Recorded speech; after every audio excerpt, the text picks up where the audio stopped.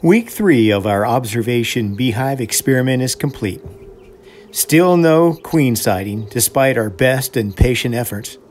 However, our bees are showing all the right signs that she will soon be making her royal appearance on the outside of our frames. Did you know that honeybees have their own version of the game Twister? Get ready for a game of festooning. And get your baking hat on because today we will be making some bee bread. And finally, a spring heat wave has settled in over the hive as the late April temperatures hit the 90s. It's hot. It's time to turn on the air conditioner in the beehive. Or is it just me? It's hot. It's getting hot, all right, and week three is behind us. It's quiet and still in the observation hive as the light of a new day dawns on the red mountain that towers over the alfalfa field that is next to the shed that shelters the hive that is home to our bees. To survive, a colony of bees must adapt to the extremes in year round temperatures, from the hot summer days in excess of 100 to the cold, freezing winters well below zero. And it's not a matter of just comfort for the bees. It's a matter of survival for the colony. Think of a colony of bees as a giant incubator with tens of thousands of young developing bees inside. In the busy spring and summer months, the queen will lay over a thousand eggs daily, every day. And it will take almost three weeks before fully developed worker bees will emerge from their individual cells. In order for the young bees to successfully survive the development process in their private cells, the temperature within the hive must remain a constant 95 degrees. Even fractional variations in temperature will result in disaster, and tens of thousands of young bees will be ruined. To maintain the temperature inside the hive, certain bees will strategically position themselves throughout the hive face a certain direction and fan their wings in place, thus creating a flow of air throughout the hive. This is no different than what is done in homes as fans and or open windows are used to circulate air throughout the house, allowing hot, stagnant air to be circulated out of the house. The numbers of bees and the placement of the bees throughout the hive will vary depending on how much air must be moved to maintain the proper 95 degree temperature. In our observation hive, there are several air vents on the sides of the hive and one at the top.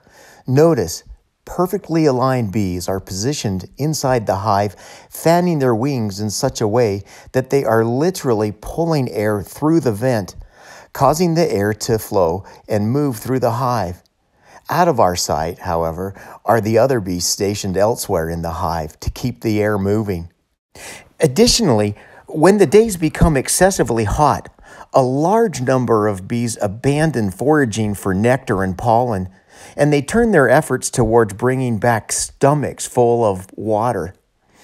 In tiny droplets, the bees will spit out the water throughout the hive, creating an additional level of evaporative cooling. And fanning has one additional purpose other than maintaining temperature in the hive. When a worker bee collects nectar from a flower, the nectar is between 70 and 95% water. Honey is 17% water. Therefore, the water content of the nectar and enzyme mix that is deposited into the cell has far too much water in it. The airflow created by the network of fanning bees also causes the excess water to be evaporated from the honey. When the honey has the perfect water content, the bees cap and seal each cell to preserve the perfect water content. When a colony of bees is in the stage of drawing out the honeycomb on the frames, like ours is right now, the bees engage in a behavior called festooning. A festoon is a cluster of bees hanging leg to leg in sheets between the bottom of the frames, forming a beautiful interconnected lacework. The design is often only one layer of bees thick, and the design is open and airy. The purpose of a festoon is unknown. Scientists and beekeepers have a variety of explanations for this behavior, but the fact is, festooning remains one of those unbelievable mysteries to this day. Everyone knows that bees collect nectar, and everyone knows that bees collect pollen. And it goes without saying that the liquid nectar is what the bees magically turn into delicious honey. However, ask someone what the purpose of the pollen plays in making the honey, and most people will look up, think for a moment, and say,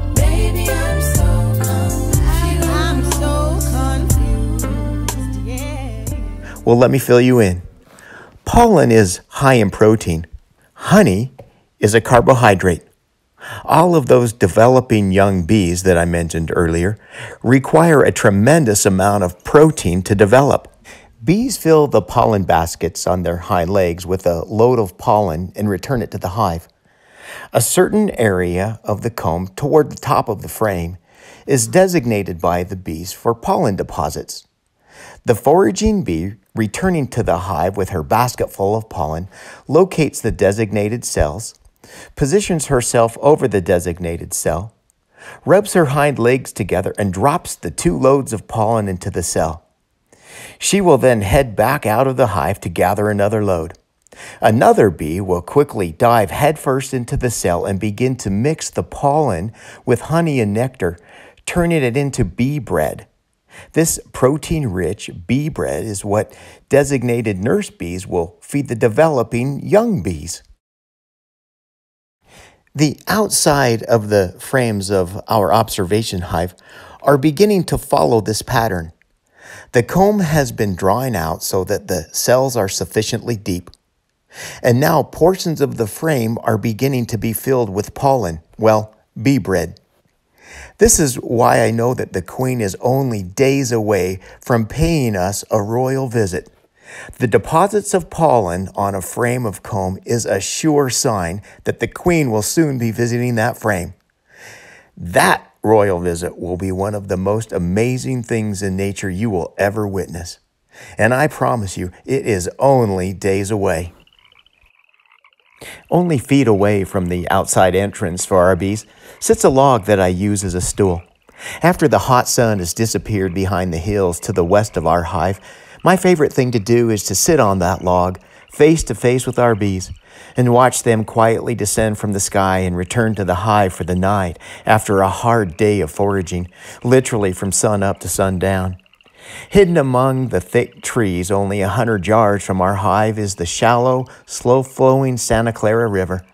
Cool, fresh air from the river drifts towards the hive as a chorus of crickets and toads begin to sing. This is when I wish time could stand still. The other evening, as it grew dark and I sat observing and pondering on my stump, my wife brought me a pillow and a blanket. It was the best night's sleep I've had in a long time.